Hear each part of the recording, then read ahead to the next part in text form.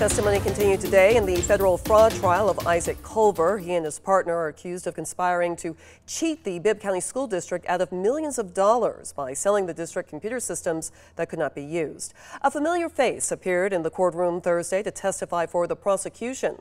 Former Bibb Superintendent Romain Dallemand. No cameras are allowed in federal court, but our Randall Savage was in the courtroom to hear Dallemand's testimony.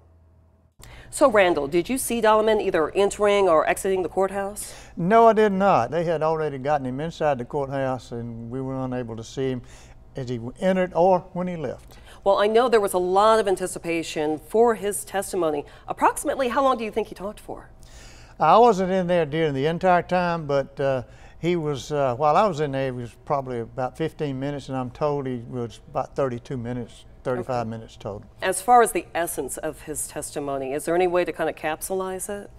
Uh, they were asking him uh, to reaffirm some of the things that uh, was in the indictment, that uh, questions uh, about whether he had approved of, of such, uh, such and such a deals in the contract. Okay, and he's, you said during the testimony he kind of felt pretty good about the deal. He thought uh, that was legitimate. Yes, he said he reviewed uh, the contracts, talked to his people, his computer people, and uh, talked some with the contractors, and he was okay with it and said uh, yes, approved it.